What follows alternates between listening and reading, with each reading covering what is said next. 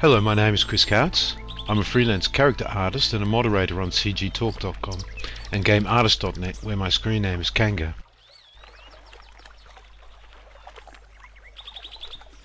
This is a test area I made for um, the character which we're going to use for the videos and for the demo.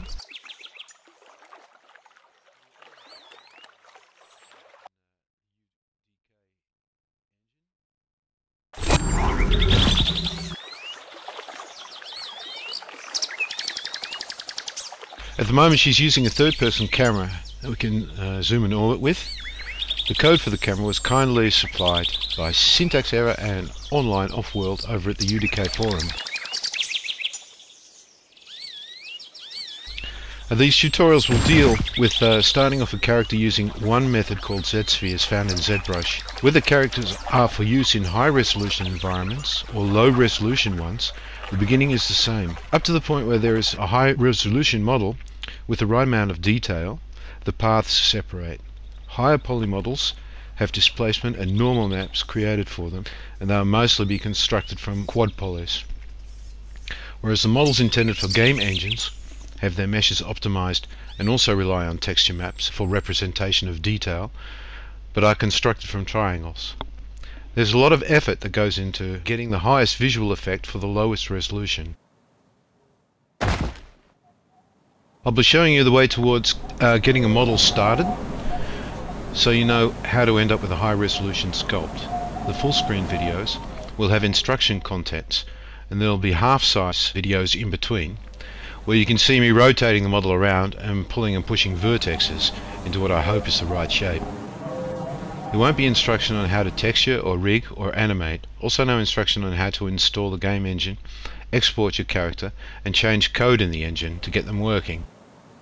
There's enough information about that. Finding that information though isn't always easy, so I'll show you where to look.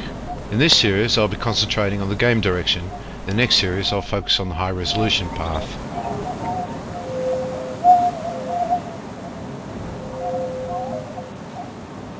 Things we'll be concentrating on are starting off a character in ZBrush using Z-Spheres, creating and using a size template in 3ds Max to keep objects the right size when going between applications, starting the character sculpt off at a low resolution, exporting that character to 3ds Max and correcting it so that we can use all the great ZBrush functions, how to create clothing and accessories for the character and keep them at the right size and orientation.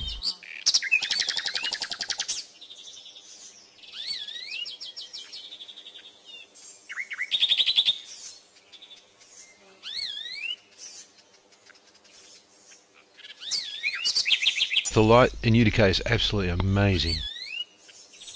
Light volumes are really beautiful. In the uh, shadow color. Very soft shadows. Might not see it in the screen capture, but this is very, very smooth.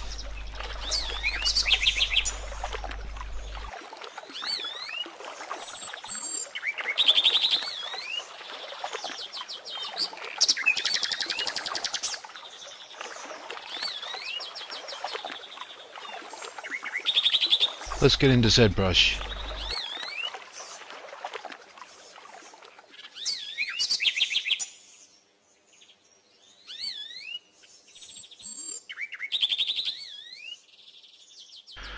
If you're opening up ZBrush for the first time, you should go to the Pixologic Classroom and you should view the Getting Started tutorials.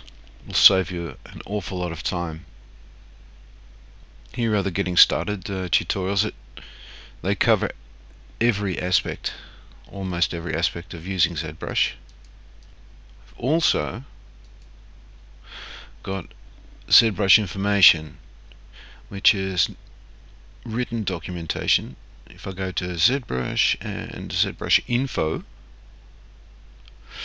then you'll find this section and if you say wanted to use Z-Spheres could enter that in the search, search function and here you have search results if I click on Z-Sphere basic controls see I've got a point by point explanation What you're going to need to follow the tutorials. Here are some plugins. So go to the download center and click on ZBrush plugins. If you scroll down you'll see the first one we need is GoZ. And that's an interface between 3D Max and uh, ZBrush 4 it really doesn't matter. If you're using uh, Modo or Cinema or Maya you can also follow along with these tutorials. The principles are exactly the same for all the software the only thing that really changes are where the buttons are so the first one you'll need is GoZ and the second one we're going to need is Decimation Master need Decimation Master to reduce the poly count of a copy of our model so that we can draw on it in 3D Max. Really quick uh, uh, intro for those who are impatient. So click on Z-Sphere, click drag in the viewport. First thing I'm going to do is click on edit and then I'm going to hide my light box. Click on floor. Now I have a floor in my viewport I'm going to click on perspective and choose an orbiting method. Okay, navigation. We've got our Z-sphere in the viewport. If I click on the Z-sphere, something will happen. Alright? So, navigation is clicking in the viewport of the model. I can rotate around the model.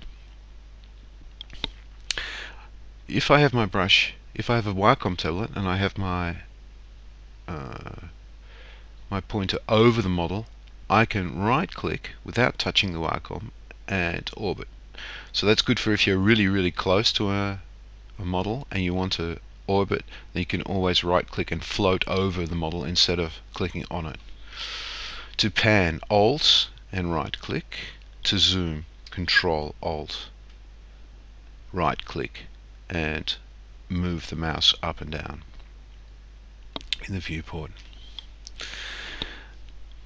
Okay, saving a model. If I want to save my progress and I click uh, Control S, I'll get a dialog which lets me save my progress as a .zpr, that's a ZBrush project file. Mostly I'll be using the Z tool as a model format. Save as here in the right corner. I'll get a .ztl file. ZTools save information like UV information, texture information, morph, uh, layer, a lot of an awful lot of information but there's a difference between the two. So it's good if you it's a good idea to read up on the difference between the two formats. But mostly we'll be using this one save as. If I exit uh, the ZBrush application, I'll get the option to save the document. Document is just a two-dimensional representation of what you see here in the viewport. Hmm, won't be using that very often, if at all, so no to that. And we'll see you in the up and coming videos.